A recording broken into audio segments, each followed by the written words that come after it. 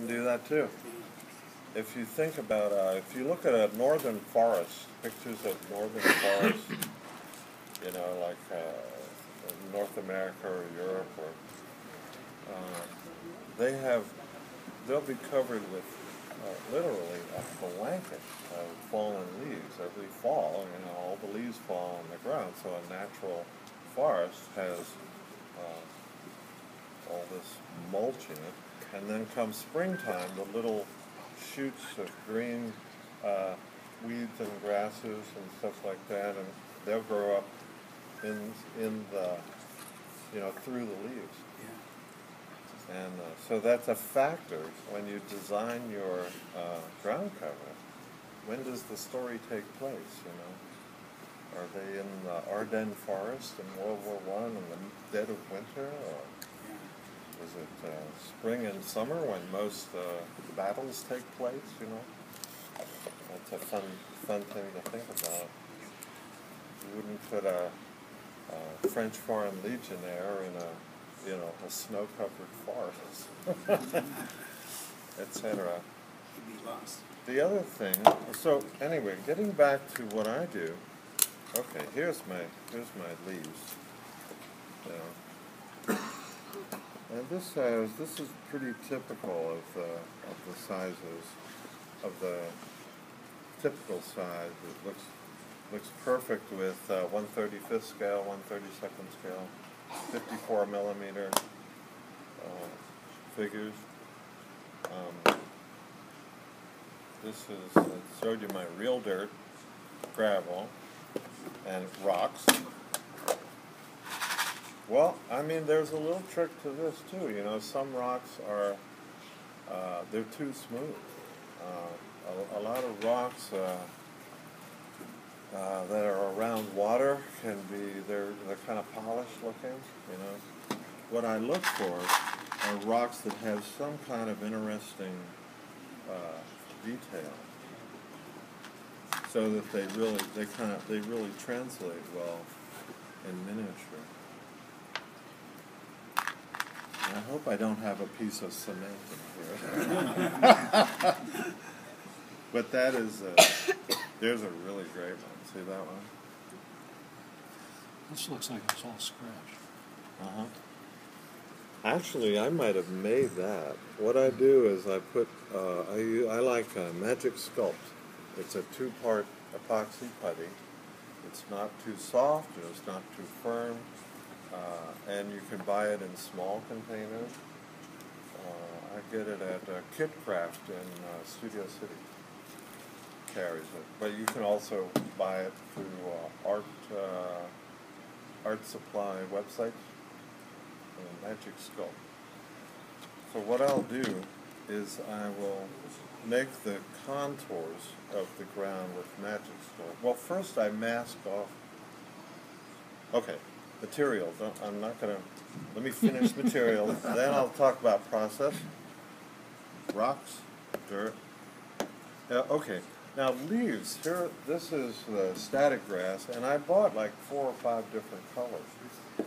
And that, but then I'll, I'll mix it. See, here's burnt grass and wild honey. That's the, uh, that's the lightest, tannest one. And so this looks like a dry summer grass. And then here I have medium green and dark green mixed together.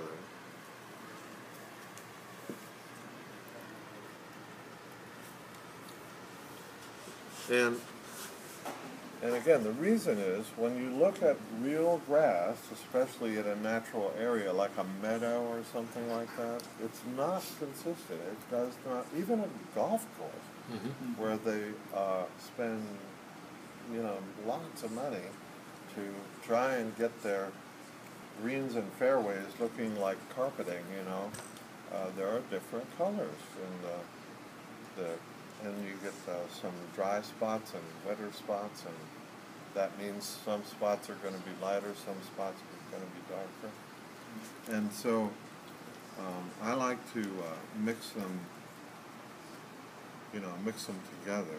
And I, I will, well, when I get to the process, I'll tell you uh, how to paint it after you So here's my medium dark. These are great little containers. I got them at my place.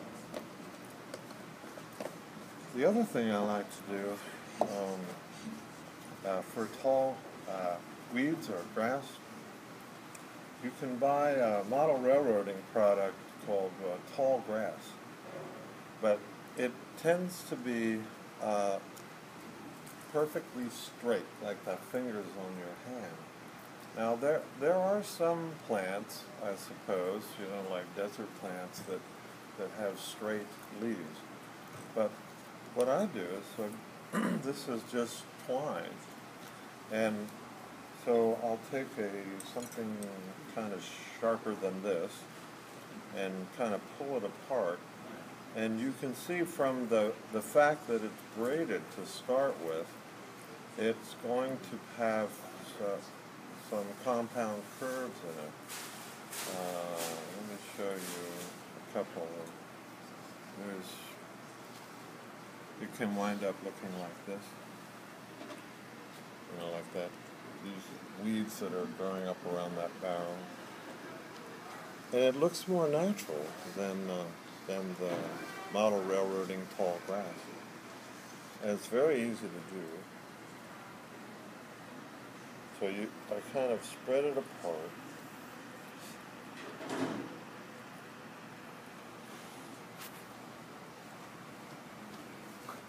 And there's going to be some wild hairs that like go this way, and you don't worry about that yet.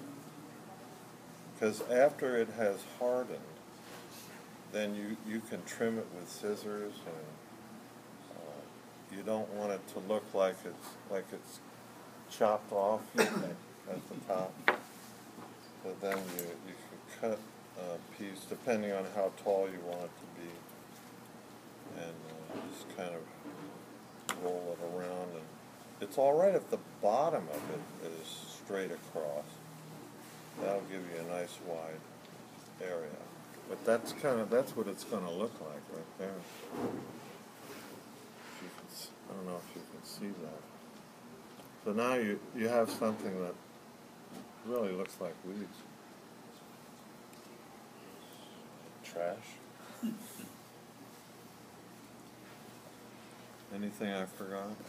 Rocks, dirt, gravel. Oh, this is fun.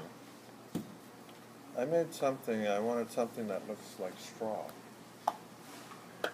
So I took, uh, I took some of this and, uh, and I took, I think I have some, oh, you can buy different types of twine too. You can get, uh, that is more coarse or more fine, you know, and it's all, it's really cheap. It's like a dollar thirty-five for this much. And, uh, you know, I could, I could use this much and I'm all set for the next ten years. So, You just have to make bigger bases so you use more twine. you know, I mean, someplace like when you go to buy a, uh, get a Christmas tree or something like that, they always have these big reels of, eh, just clip off of six inches Yeah. or so. But anyway, it, it turned out kind of like this. And again, I wanted to have variety of the stalks and things to, uh, to have a little bit of variety.